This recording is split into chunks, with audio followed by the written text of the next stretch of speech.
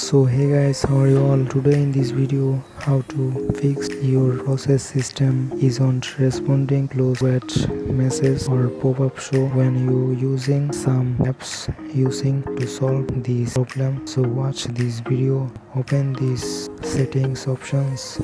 As you can see here settings options.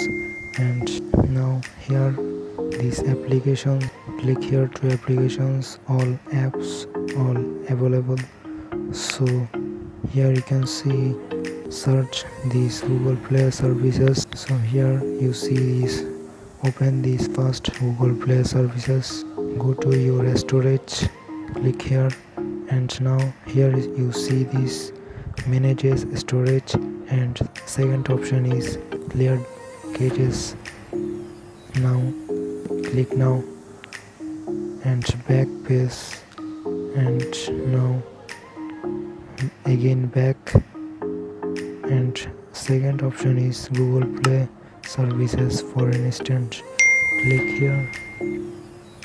And here storage click here again. And now clear caches click here clear data to delete it.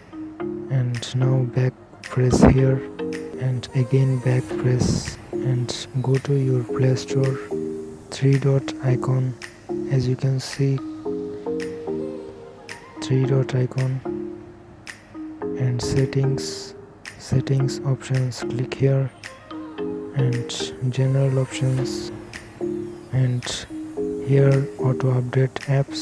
Click here and do not auto apps. Click here and done. Second option is autoplay videos. And don't autoplay videos. Click here and done. And manages options. Click here and now you see this. Back back press. And now you restore it. My files your storage click here here my devices all junk files clear now.